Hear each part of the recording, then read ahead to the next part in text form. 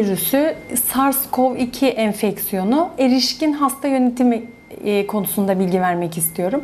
Ama tedaviden önce en önemli kısım öncelikle hastalıktan kendimizi korumak. Sağlık personelinin, doktorun, hekimin, e, hemşirenin, yardımcı sağlık personelinin kendini koruması, hastalığa yakalanmaması en temel prensibi oluşturuyor. Bunun için de kişisel koruyucu kullanımları son derece önemli. Kişisel koruyucu kullanımının başında en başında maske kullanımı geliyor.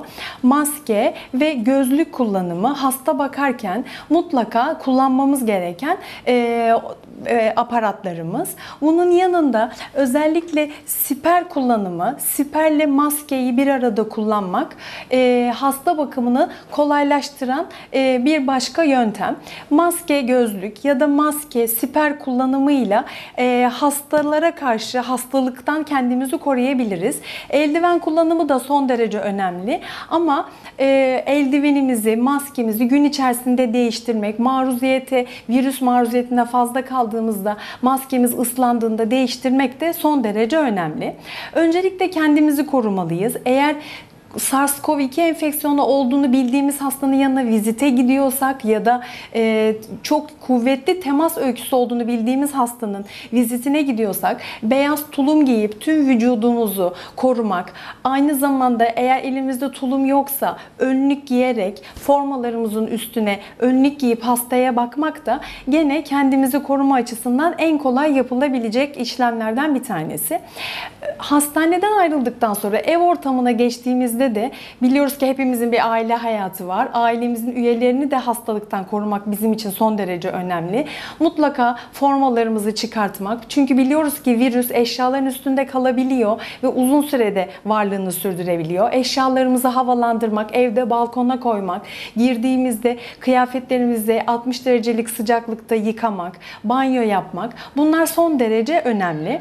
Özellikle bayanlar için takı kullanmamak, çok fazla makyaj yapmamak, yapmamak, saçı mutlaka boneyle kapatmak, erkekler için sakal, bıyık tıraşı olmak da hastalık e, kapmamak adına mutlaka yapılması gereken önlemler arasında yer alıyor. Bunları yaptıktan sonra SARS-CoV-2 enfeksiyonu, COVID hastasında nasıl yaklaşabiliriz? Burada temel prensip hastayla teması olan hastayla çok fazla biz de temas etmemeliyiz. Temel sorularımız olmalı. Hemen sormalı ve hemen anamnez kısmını yani hikaye kısmını bitirmeliyiz. Semptomunuz var mı? Ne zamandan beri var? Takipli bir hastalığınız var mı? Bunun için ilaç kullanıyor musunuz? Bu temel soruları sorduktan hemen sonra eğer hastalık bizi COVID hastalığını şüphelendiren semptom veriyor ise o zaman bir sonraki aşamaya yani fizik muayeneye geçmeliyiz. Fizik muayeneyi yaparken de mutlaka kişisel koruyucularımızı kullanmalı ve temel yapmamız gereken e, tanıya giden yöntemleri kullanmalıyız. Ne yapmalıyız? En önemlisi saturasyon probu, pulse oksimetre ile hastanın saturasyonuna bakmalıyız. Tansiyonunu ölçmeliyiz. Sistolik, diastolik tansiyonuna bakmalıyız. Kalp hızına bak bakmalıyız. Dakikadaki solunum hızına bakmalıyız ve stetoskopla hastanın akciğerlerini dinlemeliyiz. Çok basit, çok pratik ve çok hızlı yapabileceğimiz, e, sırayla yapabileceğimiz işlemler bunlar. Eğer hala hastalıkla ilgili şüphemiz devam ediyorsa bir sonraki aşamaya geçmeliyiz. O da tanı yöntemleri. Tanı yöntemleriyle ilgili olarak da pratik olması açısından bir COVID paneli oluşturulabilir. Biz biliyoruz ki yapılan çalışmalar, Sağlık Bakanlığı'nın önerdiği bir takım kandaki parametreler bu hastalıkla ilgili kötü prognoz ya da bu hastalıkla ilgili iyi prognozla ilişkili bir takım elimizde veriler var. Bunlar nedir? Kan sayımı, CRP, troponin, D-dimer, ferritin, CPK. Bunları bir panel olarak oluşturup hızlıca hastadan özellikle COVID hastalığından şüpheleniyorsak kan alıp bu değerleri hızlıca laboratuvara gönderirsek vakit kazanmış oluruz. Daha sonra muayene bulgumuz var. Hastamızda enfeksiyondan şüpheleniyorsak akciğer filmi ya da ulaşılabilirliğine göre düşük dozlu ve ilaç verilmeden yapılan akciğer da toraks tomografisi çekip radyolojik olarak da tanı işlemini gerçekleştirebiliriz. Enfeksiyonla ilgili tanımız hala devam ediyorsa mutlaka biliyoruz ki örnek alıp burundan, ağızdan bir swab aracılığıyla örnek alıp onun PCR yöntemiyle analizinin yapılması enfeksiyonun tanısını kuvvetlendiren diğer bir yöntem. Eğer bu işlemleri çok hızlıca bir triyajdan sonra hastanın değerlendirmesinden sonra arka arkaya yaparsak hem hastayla olan temas süremiz kısalır hem işlerimizi çok sırayla bir didaktik şekilde yapıp vakit kazanabilir ve daha fazla kişiye hizmet edebilir. Daha fazla kişiyi görebilme şansımız olur. Sonra bu tanılardan sonra da neye karar vereceğiz? Biz hastamızı yatıracak mıyız hastanede yoksa eve e, karantinaya mı göndereceğiz? Yoksa hastamızın genel durumu kötü, yoğun bakıma mı alınması gerekiyor? Elimizdeki basit anamnez bulguları ve fizik muayene bulgularıyla bile bunları söyleyebilme şansımız var. Bunu da sağlayabilmemiz çok kolay. Biraz önce söylediğim gibi saturasyon aleti, bir tansiyon aleti, bir steteskopla hastanın e, hastane yatışımı, yoğun bakım yatışımı ihtiyacı olduğunu karar verebiliriz. Burada önemli olan hastanın saturasyonu düşükse, 90'ın altındaysa, dakika solunumu dakikada 30'un üstündeyse, hasta nefes darlığı çekiyor ise, semptomları varsa, radyolojik olarak görüntülediğimizde iki taraflı akciğerinde pneumonisi yani akciğer enfeksiyonu varsa, eğer hasta evde karantina işlemlerini yapamayacaksa, kendine bakamayacak ya da diğer kişilerden izole olamayacaksa o zaman hastayı hastaneye yatırmalıyız.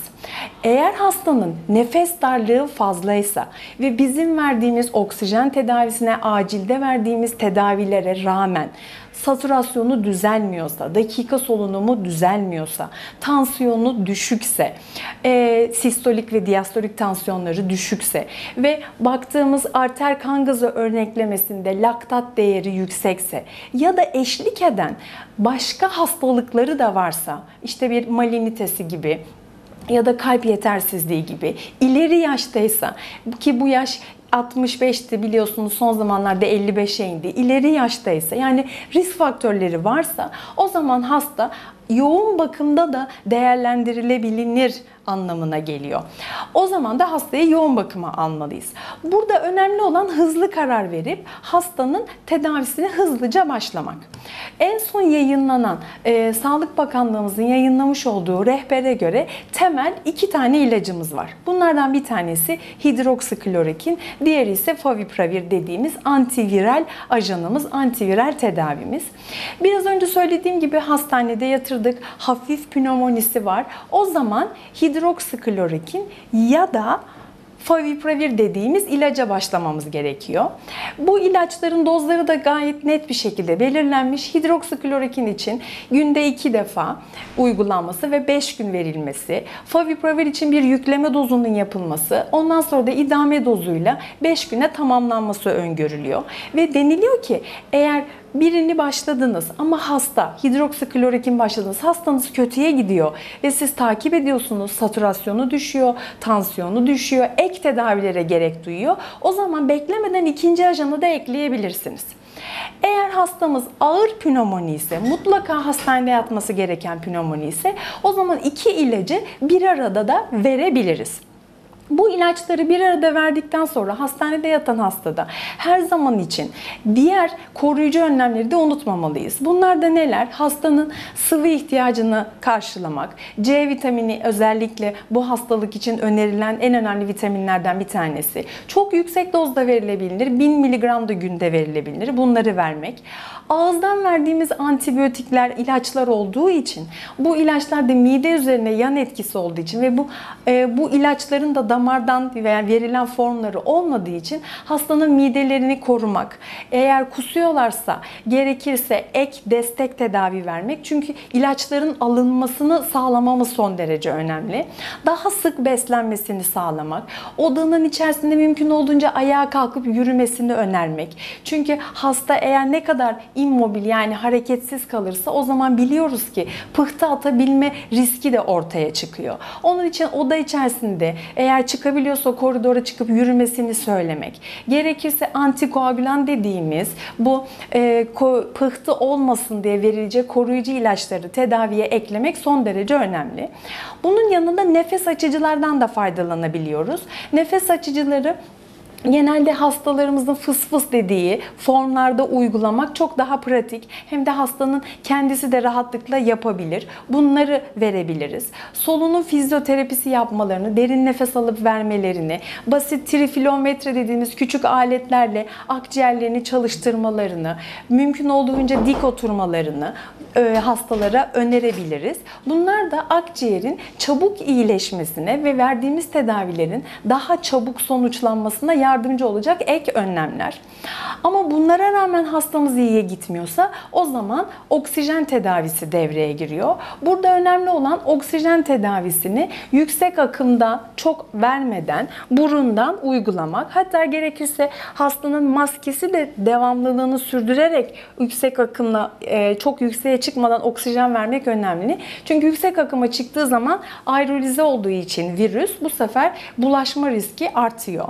Bizim nebulizatör dediğimiz ilaçları bu aşamada çok kullanmamak çünkü onlar da inhalasyon yoluyla etrafa bulaşma riskine sebep olduğu için dediğim gibi MDI dediğimiz inhaler formları kullanmak onlar da e, hem etrafa bulaşmayı hem arkadaşlarımıza, hekimlerimize, çalışanlarımıza hastalığın bulaşmasını mümkün olduğunca minimuma indirir. Eğer hasta oksijene ihtiyaç duyuyorsa bu da demek oluyor ki daha yakından takip etmek gerekiyor. Hastanın durumu kritik düzeye gelebilir ve kötüleyebilir. Dolayısıyla oksijen verdiğimiz hastayı vermeden günde 3 kere 5 kere bakıyorsak oksijen başlayınca daha sık baş bakmalı ve daha sık kontrol etmeliyiz. Eğer oksijen tedavisine de yanıt vermiyor ise hastamız o zaman yoğun bakıma göndermeden eğer dakika solunumunda artış varsa, saturasyonu düşüyorsa o zaman yüksek değere çıkmadan verdiğimiz oksijen tedavisi nefes açıcılara da yanıt vermiyor ise o zaman bir sonraki tedavi aşamasına geçmek gerekiyor. Bu aşamada yoğun bakım. Ama yoğun bakıma gitmeden elimizde, ülkemizde çok sık kullandığımız ve rahatça ulaşabildiğimiz non-invazif mekanik ventilasyon denilen solunum destek cihazlarını da çok rahatlıkla kullanabiliriz. Çünkü amacımız hastayı yoğun bakıma indirmeden mümkün olduğunca serviste tutup e, tedavisini bitirmeyi hedefleyebilmek, başarabilmek. Bunun için de bu araçlardan, bu aletlerden faydalanabiliriz. Bunlar pozitif basınç vererek hava yollarını açmayı sağlayan araçlar ve portable her yerde çok rahatlıkla uygulayabiliyoruz.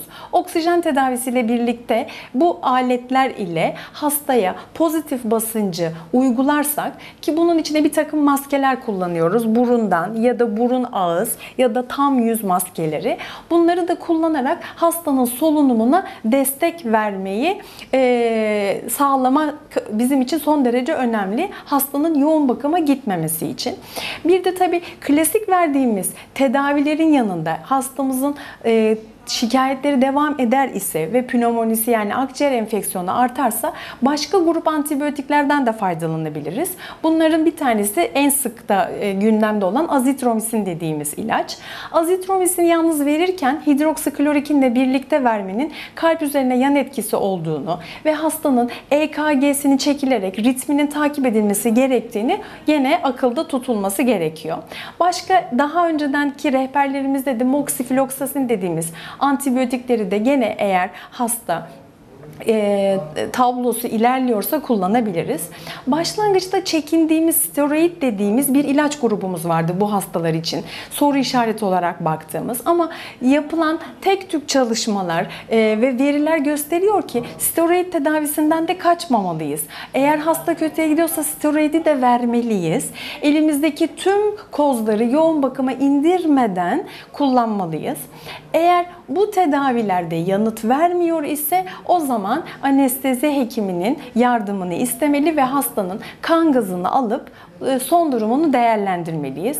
Tedavilere rağmen laktat seviyesi yüksek, oksijeni düşük, pH dediğimiz değeri düşük seyrediyor ise o zaman yoğun bakım hekimiyle birlikte karar verip hastamızı yoğun bakıma almalıyız. Yoğun bakımda e, tedavi tamamen ayrı bir dünya. Anestezi doktorunun e, önderliğinde işlenen bir e, tedavi yöntemi.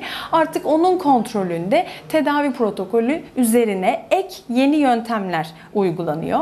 E, bil, hepimiz bilmekteyiz ki plazma tedavisi e, sitokin fırtınası olduğu için bu hastalarda yani fazla miktarda destrüksiyon yapan madde salındığı için bunları azaltmaya yönelik sitokinleri azaltmaya yönelik tocilizumab gibi sitokin ablasyon tedavileri gibi tedaviler, immün kök hücre tedavileri gibi tedavi yöntemleri de var. Ama bunlarla ilgili çalışmalar devam etmekte ve kanıta dayalı e, çalışmalara ihtiyaç olduğu için bununla ilgili net veriler söylemek çok mümkün değil.